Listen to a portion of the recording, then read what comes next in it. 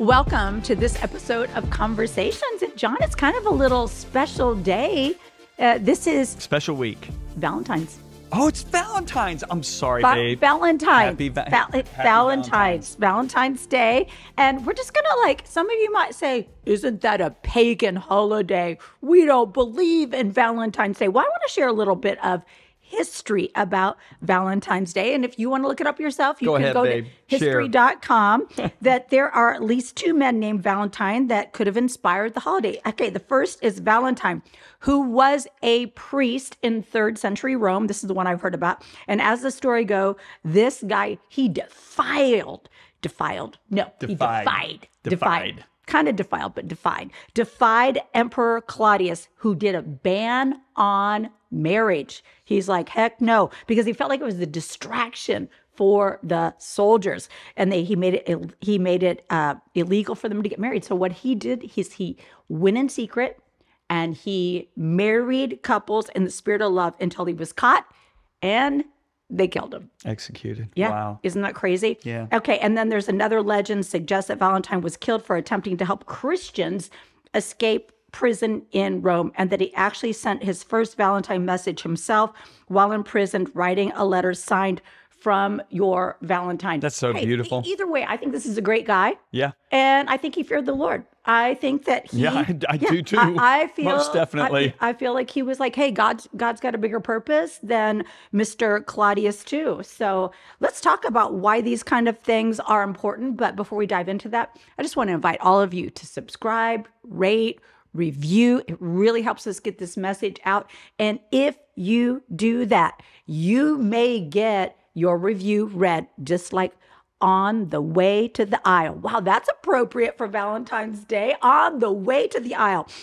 So this is what this is what they said. So so helpful to learn from a couple that is God centered and wanting to share their wisdom for those trying to develop and create a healthy life, marriage, and relationship with God. Thank you so much for the advice and guidance. Can't wait to show my fiance this podcast. Wow. That's that so fun? good. Yes, right. it is. So what are we talking about, John? Well, one week from today, one week from Valentine's Day, the Awe of God book will launch. And speaking of Valentine's Day, everybody, I dedicated this book. This is my life message. I said, My magnificent wife, best friend, and cherished love, Lisa Bevere. Okay, it's private. A woman who fears the Lord will be greatly praised. It's private, it's published, actually. Ah. I wrote this book in our 40th year of marriage. Each year with you only gets better, and if given the chance, I would marry you again in a heartbeat. No words can express the delight and joy you bring to my heart.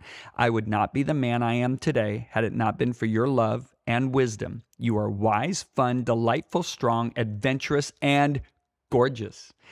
I love you forever, babe. And, and what did I do when you read when you handed I, this? I to me? shared it at the board meeting, our board meeting, because I knew she'd end up finding out, and I wanted to read it first, and she started crying. I put my head down and started crying. You It did. Very, It was so very beautiful. it's very, very sweet. Okay. Well, we are talking again because this is this is kind of a, a this is a topic first and foremost. I know that this is a life message. I know this is a life pursuit for you. Yep. I know that this is a key. Uh, this is what Jesus said. Okay, this is what he was going to embrace. And people are like, "What are you talking about?" We are talking about the fear of the Lord and the awe of God, but the aspect of obedience. Can you talk about that? Well, I will, but let me kind of frame how this all started for me. Um, back in 1994, I was asked to do a church conference. Pretty, it was the biggest church in, in many counties around.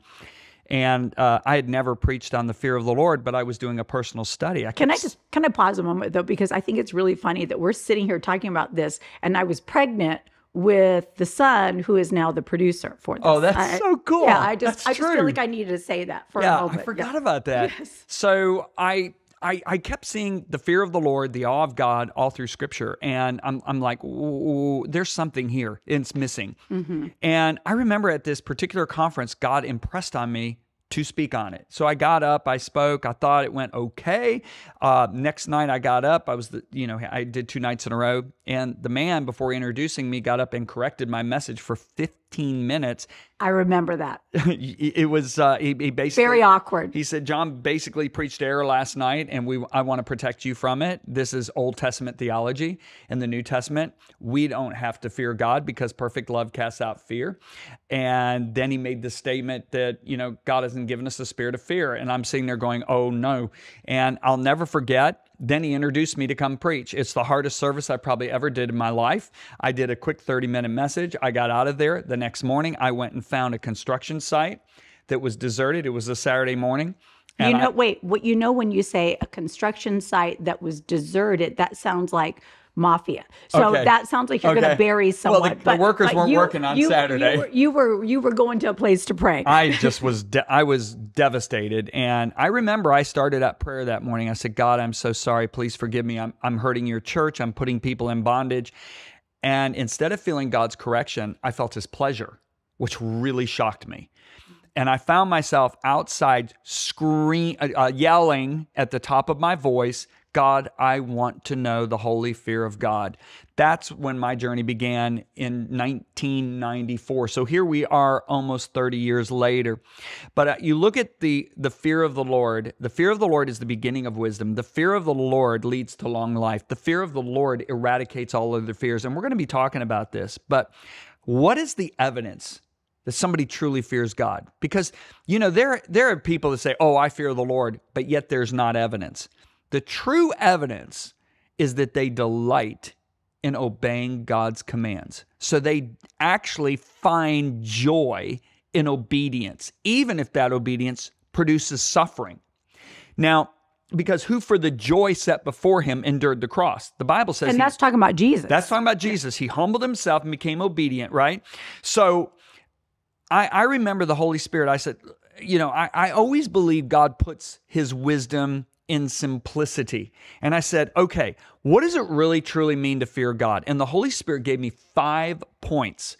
And, I, and each one is a chapter in this book. Now there's 42 chapters. It's a six week book. You do it once a day. There's a devotional in it. It is not a devotional, but it is a real book. But I try to break it up so it make it easy for you. But this is one whole week in the book. But but God showed me that the person that truly fears God will obey immediately. You know, David writes in Psalm 119, I will hurry to obey your commands. Wow. That isn't that amazing? He will obey instantly. Okay. He will obey second, even if it doesn't make sense. So, does it make sense to tell a bunch of sailors not to get off a ship that's sinking when there's lifeboats at hand? but yet everyone was saved? Did it make sense to walk around a wall six times silently and then blow horns on the seventh to defeat an entire nation? Did it make sense to put mud, spit in the ground and make mud and put it on a guy's eyes? So we obey when it doesn't make sense. We obey even if it hurts. Peter makes the statement, as Christ suffered for us in the flesh, arm yourselves also with the same mind to, to suffer, true Christian su- suffering is not when we seek to suffer. It's when we seek to obey God, but living in a fallen world, we end up suffering. So basically, the fear of the Lord gives you the ability to look at adversity. How did these believers go to the rack, go to the stake, go to the crosses, and be crucified? How did they have that kind of courage? The fear of the Lord because that empowers you to obey God no matter what the circumstances. So obey instantly, obey when it doesn't make sense, obey when it hurts, obey when you don't see a benefit. Did it make sense for Esther to go before the Persian king who happened to be her husband when she wasn't invited? If he didn't point the scepter at her, her head came off. Nobody knew she was a Jew. The whole Jewish race was going to be annihilated in one day. Nobody knew she was she's queen to the Persian king. Nobody knows she's Jewish except her cousin Mordecai. And she says to Mordecai, I'm going before the king, and if I die, I die.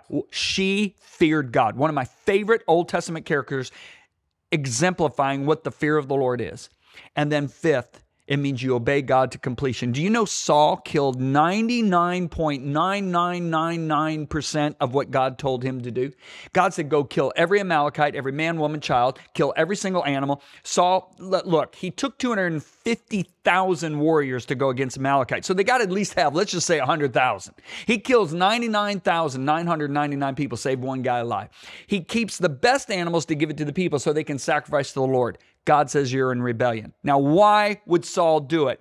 Fear of the Lord addresses motives. This is the number one message of this book. It deals with your motives. Okay. I, I, I want to be able to trust my motives. I want to be able to trust my intentions. When you fear God, you can. So, why would Saul kill all those people and save the king alive. Because when you got a king that you have annihilated his country and he is a living prisoner in your palace, Everybody that comes in to your throne room and sees that that king, that former king who's now prisoner in your palace, it's a living trophy for him. Why does he want to give the animals to the people to sacrifice to the Lord? Because they're a religious nation and he wants popularity. So it's all his motive is all about serving self instead of obeying God to fulfill God's heart desire. So the fear of the Lord means we obey God because we want God's heart desire fulfilled more than we want anything else. So, John, years ago, Yep. because of your pursuit, you wrote a book called The Fear of the Lord. Yes. How is this book, again, living with you, I know the answer. How how does this book add to this? And I, I'm just gonna pause it for a moment and say there's a big difference between writing a book when you're in your 30s Yep. and writing a book when you're in your 60s. 60s because God layers a weight of experience, of faithfulness, of um, of seeing. Like John and I have seen a lot of people start out really smart and end up really stupid because a lack of the awe of God, Yep. a lack of holy fear. So let's talk a little bit Yep. because we've had people say, "I love the fear of the Lord." Is this it revised and updated?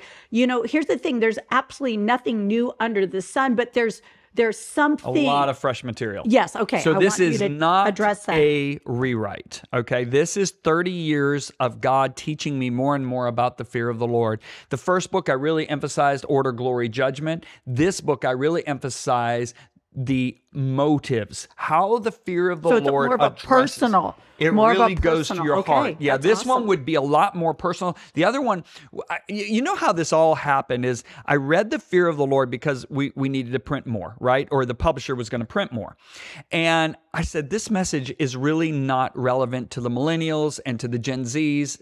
And even or even to our day. even Yep. yeah even to our day and i and i started praying and lisa and our book agent kept saying you got to write the book on the fear of the lord you got well i started praying and i felt like the holy spirit said in 2022 i started writing it february of 2022 so a year ago write it now and because God spoke to me 30 years ago, Lisa, and He said, the final move of my spirit on this earth before Jesus returns is going to be a move of the awe of God, the fear of the Lord.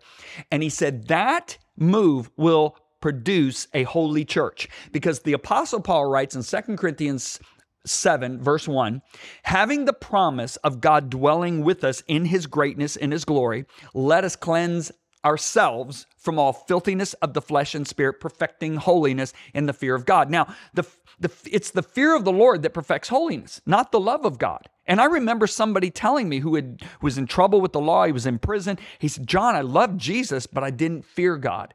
Well, he wasn't living a holy life. Why? He said, I love Jesus, but I was in sin. The fear of the Lord gives you the power to depart from evil. That's what scripture says. This is why Paul the Apostle, who had the revelation of grace, Lisa, writes, Work out your salvation with fear and trembling. Not work out your salvation with love and kindness. Work out your salvation. Now, what does it mean to work out? It means to mature your salvation. So, the reason we have been losing millions of people in Christianity. Literally, a survey says that we've lost 40 million people in the last 20 years. 20 million of those people, they still, if you push them in the corner, they'll say, I'm a Christian, but they don't pray anymore and they don't gather anymore. The other 20 million are now professed agnost- agnostics, atheists, and spiritualists. 20 million. Okay, so we're talking 40 million in this group. America's population is 332 million. We're talking over 10% of the entire American population. That means one out of every 10 Americans has walked away from Christianity. We're losing, statistics says, over a million young people a year to the faith. They go to universities and they come back not believers. So, what's missing? What is the protection that keeps us from walking away? It is the awe, the fear of God. And if you look at Psalm 19, verse 9, it says that the fear of the Lord is clean. So, just as Paul said, it produces a real purity in our lives. The fear of the Lord is clean, but then he says, enduring forever. You know, Lucifer led worship right before the throne of God. He beheld the glory of God. Can you imagine? But he didn't endure because he didn't fear the Lord. Well, and I, I remember studying this when I was writing Without Rival. Uh, there was a familiarity.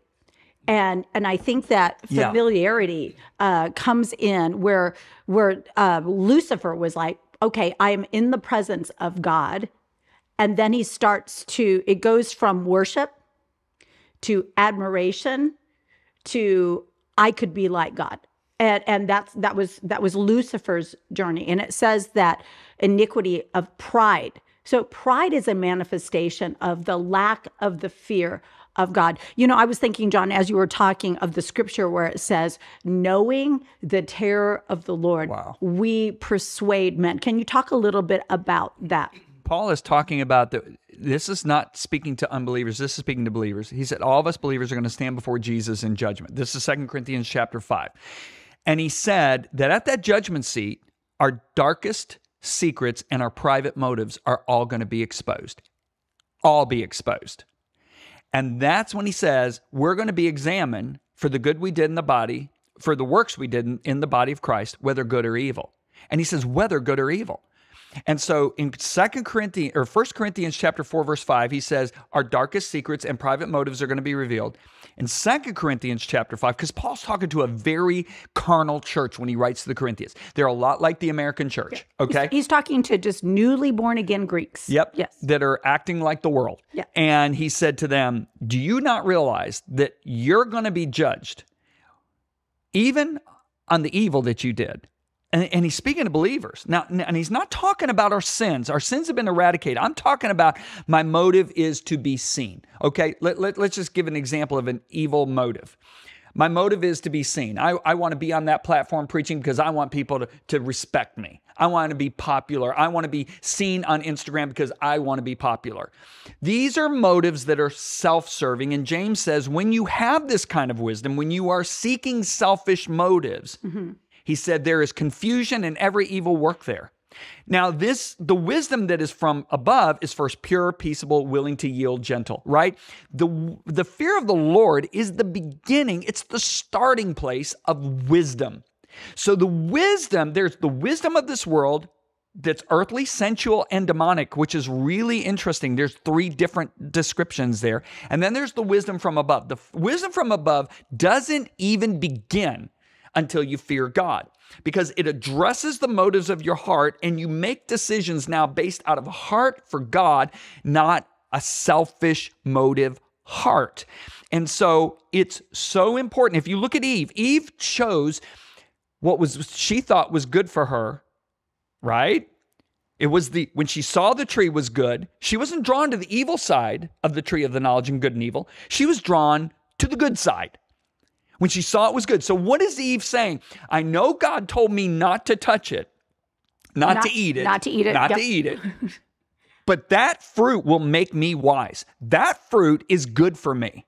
She chose that motive and that's why we're in the mess we're in today. Well, wait a minute. I'm going to stop you there. Well, it's because of Adam. I know. Thank you. I, am staying corrected. I yes, stand corrected. It, because nothing happened. Uh uh wife, yes. we are not doing this. And I believe there, yeah. there, there we wouldn't have had a fall. It's when nothing Adam, happened till Adam he, ate it. and it says, yeah through one man's, man's trespass yep. and disobedience and through one man's obedience. I support. So the fear of the Lord just came became present right now. Uh, so, so the, oh. the, fear of the Lord's one. But so anyway, yeah. just to recap, so the manifestation of the fear of God. Now listen, you can't just try to work this up. The fear of the Lord has to be caught. Okay. So, but anyway, It- no, it can- also no, was can- wait. taught. no, I want I want you to pause a moment there because no, first of all, Yeah. we're saying there's a problem where we don't have it Right. in our churches or where. So, so somebody is listening to this podcast, John, and and they say, okay, I'm going to grab your book and I'm going to read about. But but there is there is a interaction with the presence of God. Yep. So what would you say to somebody that says, okay, I've never heard this. I I want to be in awe of God. I've only heard God's my buddy, God's my friend. He's like me. He wants me happy. He wants, you know, he wants whatever I want for me. Uh, whatever the the nonsense that has come in. How how how does a person invite the fear of God or the awe of God into their life? You know what's amazing, Lisa? I discovered in my journey, this is one of the manifestations of the Holy Spirit. It says in Isaiah 11, the Spirit of the Lord should rest upon Jesus, the Spirit of wisdom, the Spirit of counsel, the Spirit of might, the Spirit of understanding, the Spirit of knowledge, and the Holy Spirit of the fear of the Lord. And then verse 3 says, this is Isaiah 11, his delight Yeah. was in the fear of the Lord. Now, Isaiah 33, verse 6 tells us that the fear of the Lord is God's treasure. So stop and think about it.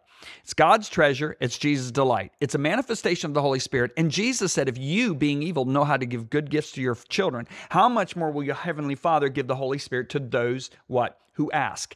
But then Peter makes the statement in John chapter or Acts chapter 5 that God gives the Holy Spirit to those who obey him. Obey from the heart. So if I'm selfishly looking for the Holy Spirit because I want power, like the guy in Yeah, Acts chapter 8, I'm not going to get, I'm not going to receive yeah. Mm-hmm. the sorcerer. But if I want to fulfill the will of God on earth, if I want to walk in intimacy with God, if I want to walk in his wisdom, which brings life, Mm-hmm. then when I ask for the spirit of the fear of the Lord, and I do this, Lisa, almost every single morning in prayer, I say, God, I want a fresh baptism of the fear of the Lord, the Holy Spirit of the That's fear what of I the was looking for. So, so Okay. here's something. No, eh, no. Here's here's what I want you to hear because John is the one who mentored me, and I remember John saying, "Lisa, before you read Scripture, pray." Yep. Pray. Invite the Holy Spirit to illuminate God's word, uh, to actually begin to reveal things in your life that are the antithesis of the awe of God, the antithesis of obedience. And so I want to say to you out there, one of the things I love the most about my husband yes he he writes amazing books yes he he preaches amazing sermons but john has for, for as long as i have known him sought to honor the presence of god.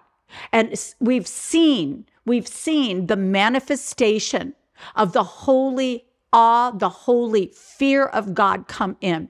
And so i would say i would say that when you get this book we're not we're not this is not just a how to book. Like oh i'm going to read about the awe of god. I'm going to check a list. This is an invitation to experience the awe of God. It's an invitation for you to experience God's presence. It's an invitation into obedience. And everything that John was saying, we're not saying these things about the judgment. You're going to give an account of how you did things to make you feel guilty or afraid. We're actually trying to add weight that you can move forward in confidence and obedience, knowing full well that no matter what it looks like, no matter what people are saying to you, that God has your back, that you are living in the awe of God instead of the fear of man. Yeah. Yeah. And John, this is this is a special program.